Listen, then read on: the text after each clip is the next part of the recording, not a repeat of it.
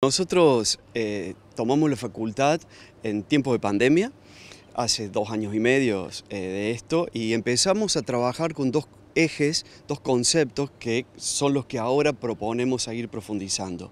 Una facultad abierta y una facultad moderna, entendiendo por facultad abierta una facultad inclusiva, una facultad que a todos los miembros de la comunidad le den un lugar para su propio progreso personal, una facultad muy vinculada al medio y es lo que hemos tratado de hacer y queremos seguir eh, haciendo, una facultad integrada al medio desde todas las actividades, desde la extensión obviamente, pero también desde la investigación, también desde la capacitación.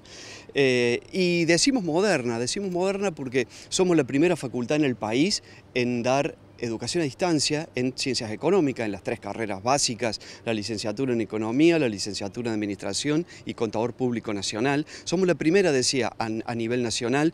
Vamos fortaleciendo ese perfil nuestro al punto de que el 70% de nuestros inscriptos eh, son bajo la modalidad a distancia. Entonces lo de Moderna también tiene que ver con lo tecnológico, con el entorno virtual para esa educación que nosotros ya no decimos de futuro, sino eh, actual. Buscamos todos los caminos tecnológicos y estamos trabajando fuertemente.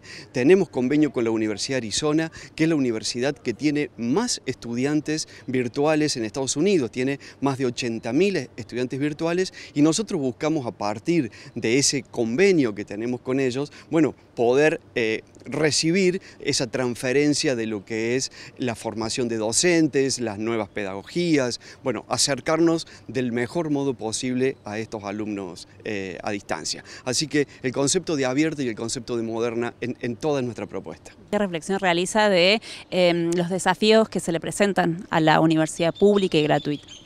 Bueno, a ver, los desafíos son importantes, son muy fuertes, estamos en un momento muy difícil, muy complicado. Eh, nosotros tenemos una historia de vida que ni siquiera es una opinión de lo que nos parece, nuestra propia vida refleja lo que ha significado la universidad pública para cada uno de nosotros. Yo no solo soy el primer eh, egresado universitario de mi familia, soy el primero secundario, digamos, y claramente no hubiera podido estudiar eh, si no hubiera sido por esta universidad pública. Por eso también eh, vale la acotación. Nosotros impulsamos el doctorado honoris causa para Alberto Tacchini. El doctor Tacchini fue el que pensó el plan de universidades nacionales. Cuando en la Argentina solo había ocho universidades nacionales, en cuatro años había más de 20.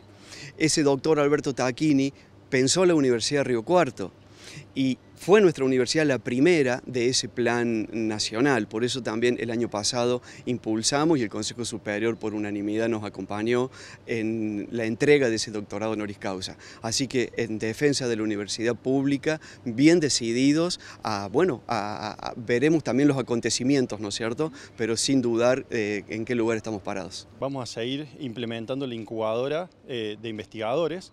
Esa fue una iniciativa desde la Secretaría en donde lo que buscamos eh, eh, es que aquellos investigadores que estaban atrasados en sus categorizaciones puedan dirigir trabajos y nos dio un muy buen resultado. Más de 70 eh, docentes empezaron a investigar con, resultados excelentes. El que es bien conocido por la universidad es el de indicadores de gestión que terminó siendo utilizado por, todos los, por todas las facultades. Bueno, y desde el punto de vista del posgrado, eh, seguimos implementando y seguimos utilizando el posgrado a distancia, el de desarrollo territorial, en donde eh, se triplicó los inscriptos para la, nueva cohorte, bueno, por, la facilidad de distancia, por la facilidad de la virtualidad. Entonces, ¿tienen pensado seguir fortaleciendo las distintas propuestas de posgrado? Sí, sí, la idea es a partir de este posgrado y la experiencia que hemos tenido en la virtualización, agregar otros doctorados, estamos desarrollando eh, algunos con temas mucho más modernos como Big Data, eh, bioeconomía y, en, en esos temas. En el diálogo con los estudiantes, ¿qué cuestiones van recogiendo? ¿Qué propuestas concretas para ellos tienen? Bueno, eh, por parte de los estudiantes eh, implementamos en esta gestión y que lo vamos a mantener eh, la asesoría pedagógica, que fue un resultado excelente porque bueno, chicos después de la pandemia les costaba como arrancar de nuevo, bueno, estudiar, les daba un poquito de miedo el tema de los exámenes finales, bueno, entonces se le ayudó mucho desde ese punto de vista. bueno, y también estamos implementando un nuevo sistema Model, que es para virtualizar eh, no, solo las clases a distancia, sino también algunas presenciales con algunos cursos extra, extracurricula. Y...